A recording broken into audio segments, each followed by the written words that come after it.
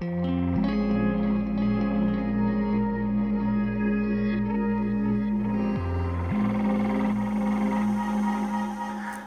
1 Jeans.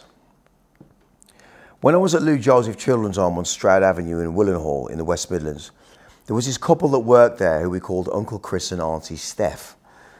They were definitely the more laid back kind of people, the trendy staff in the place.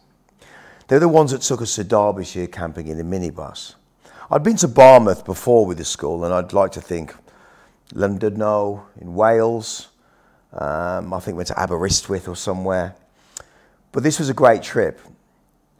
It was only going to be going to Derbyshire, but it was going to be amazing because on the way there, Chris introduced me to the Beatles on his eight track in the van. A Hard Day's Night, Revolver, and all these albums. But Sergeant Pepper was the one that really stood out for me. It changed my life. It really did, that record even when I think about it now, it's still a very much a big part of me. When I get older, losing my hair when I'm 64. well, I'm only like, how far am I off that? I'm like 10 years off that, so I'm all right. and I've lost my hair. Um, it seemed like a million miles away back then, and of course it's right here now in my kind of return movement, if you like, the golden return movement.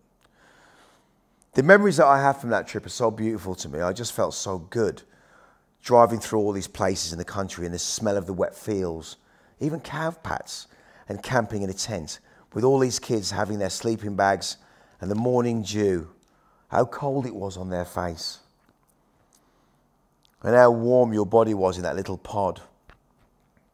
And as soon as you felt that cold air on your face when you woke up, you felt like you were a part of something else the fresh country air. It was just amazing, an amazing thing. Beans for breakfast and bacon that was cooked outside on a stove. It felt so primal. It felt like I was a caveman of some sort on this adventure, finally living the Huckleberry Finn life. Almost. I don't know. It was just a beautiful time. But what I find even more beautiful is the way the music that I heard on the trip stayed with me on the journey the journey that came after, because of how it's tied to the memory of certain places at certain times. Very Freudian. It always reminds me that you can go back and forth in these moments of madness in your life and kind of lock yourself into music. One particular track on Sergeant Pepper, the last song, A Day in the Life, was just so unbelievable to me as a young man.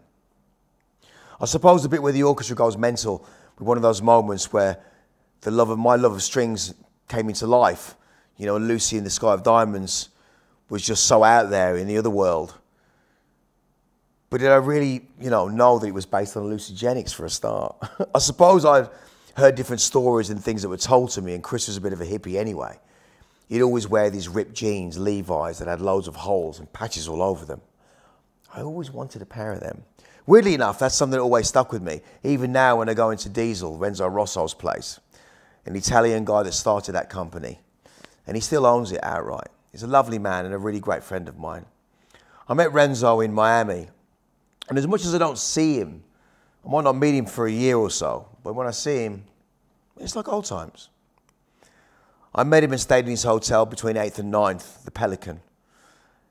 And uh, it's kind of that place where me and Bjork had our crazy breakup we were going to get engaged, we were going to get this house, we were going to get married, and blah, blah, blah. But then some of this personal stuff starts happening, and it just didn't work out.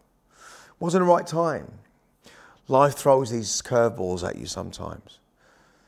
It's kind of devastated for a bit, but to be honest, I'm here in the best place I could possibly be.